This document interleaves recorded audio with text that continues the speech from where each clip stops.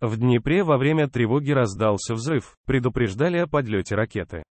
В Днепре раздался взрыв. Воздушные силы предупреждали о движении ракеты в направлении города. Об этом сообщает РБК Украина со ссылкой на «Суспельне». В Днепре прогремел взрыв, сообщают корреспонденты «Суспельного», пишет издание.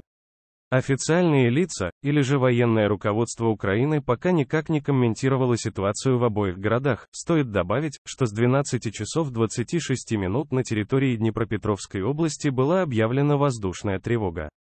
В 12 часов 48 минут воздушные силы предупредили о движении ракеты в направлении Кировоградской области. Впрочем, позже она изменила движение в сторону Днепра. Отбой воздушной тревоги. В 13 часов 7 минут было объявлено об отбое воздушной тревоги на юге Украины, в том же числе и Днепропетровской области. Уничтожена ракета, как сообщает глава Днепропетровской области Сергей Лысак, защитники из ПВК «Восток» уничтожили вражескую крылатую ракету. Атака на Украину в ночь на 28 января.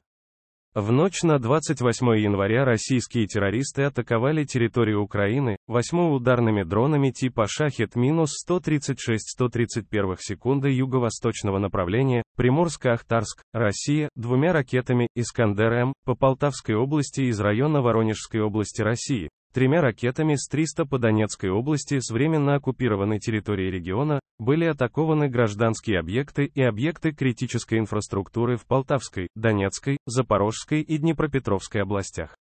Противовоздушная оборона уничтожила 4 из 8 вражеских БЭПЛа. Срочные и важные сообщения о войне России против Украины читайте на канале РБК Украина в Телеграм.